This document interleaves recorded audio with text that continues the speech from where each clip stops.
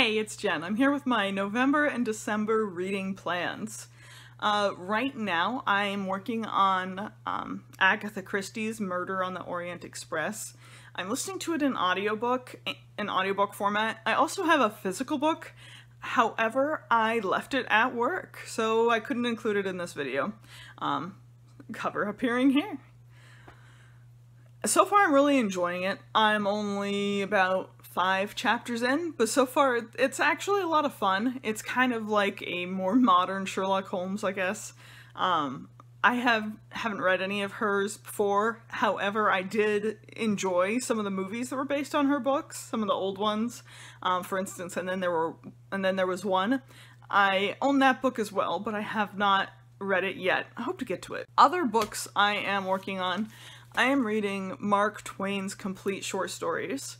Um, I don't know when I'm going to finish that book. I've been working on that one for a couple months now, and I am 200 pages into an 860 something page book, so I don't anticipate finishing it before the new year, and yet part of me is like, wouldn't it be awesome to finish that before the new year and just finally be able to say, hey, I've read all of Mark Twain's short stories? It would be great. It probably isn't going to happen. The next thing I can't wait to read, this is my fun read, this is going to be my fun read, ready? Artemis! Artemis! I loved The Martian. I loved it. I finished The Martian, and I immediately wanted to start back at the beginning and read it again. Um, he makes characters. Andy Weir makes characters that I wish were my friends. It's people that I would love to hang out with. And I'm really hoping that Artemis makes me some more book friends because I need some more character make-believe book friends. And so I cannot wait to read Artemis. Next one I hope to read, We Were Liars. This gets recommended so much, and it's such a short book.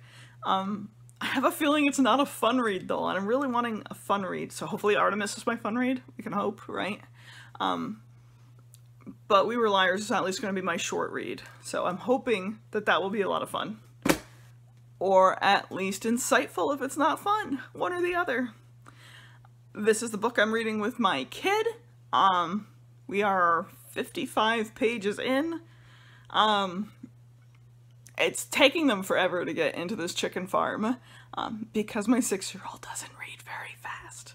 My six-year-old doesn't read very fast, um, and I'm making her read it, so we will probably finish this. I hope we will get to book three so that we can finally get to book four about the zombie kittens, because zombie kittens, duh. The next book I hope to read is The Birchbark House.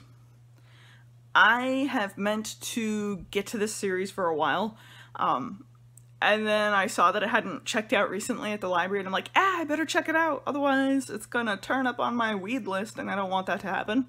Um, this is considered to be sort of like the um, Native American version of Little House on the Prairie and so I'd really love to read this. I read the original, um, I read The Little House on the Prairie, Little House in the Big Woods, all those books when I was a, um, a tween, I guess.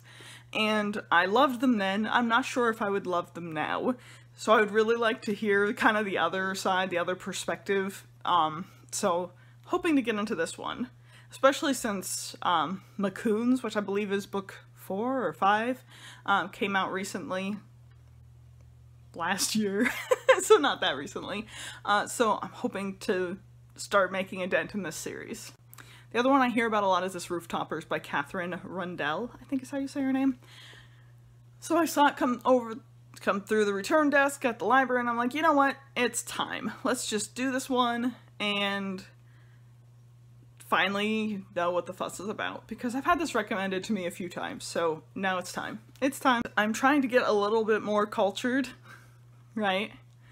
I do read a lot of nonfiction, but I was reviewing my books from 2017, and I haven't read any poetry yet. I mean, zero poetry has been read this year. And so I'm like, okay, you know what? We need a poetry book. And I thought that this book was a lot smaller than it actually is. I picked up The Sun and Her Flowers.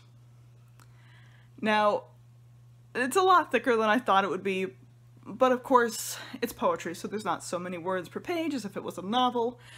So I am going to read this before 2017 is up so that I have read some poetry this year.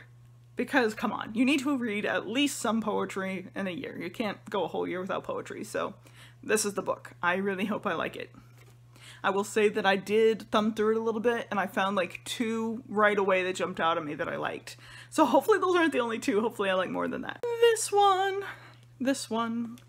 I recently finished Hidden Life of Trees and I just thought that was great. I really liked that book a lot.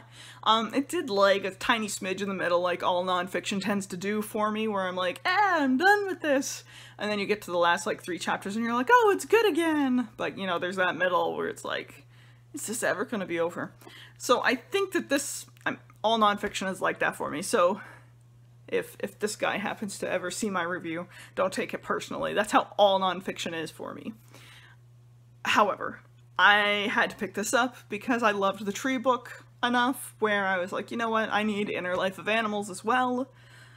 I I'm thinking it probably can't be as good as the tree book simply because this guy worked in forestry, um, so I'm not sure where the background with animals is going to come in, but his writing style was really nice. I really liked his writing style, so hopefully I will like it in this book as well, more than likely that is all I am committing myself to for the rest of November and December. Um, simply because I'm going to stumble on more books I want to read, and so that's all I'm locking myself into. Uh, I will definitely read more than that, but that is all I'm committed to, is what you saw right now. If you enjoyed this video, yay! If you didn't enjoy this video, I'm sorry! See you next time.